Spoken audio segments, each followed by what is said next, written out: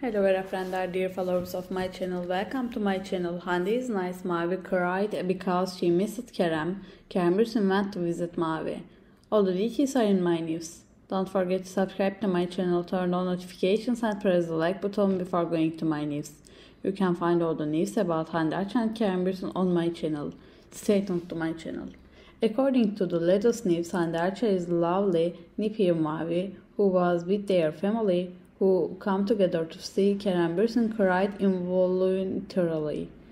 This cry of Mavi, who is still very young, immediately caught Kerem Bürsin's attention and as soon as she heard it, she ran to her little one.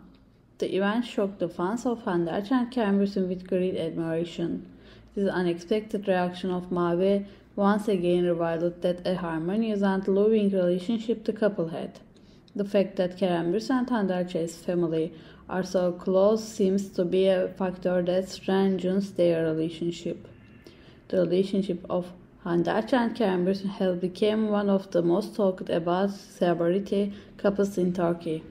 Dudu experiences their close love at every opportunity and shares romantic moments with their followers on their social media accounts. Fans follow this beautiful love story with great excitement and interest. While Hande is coming with her success in acting. Kerem Bürsin is also talking about her honors with her rise in her career. The duo had the opportunity to work together on many projects and they were a perfect match on stage.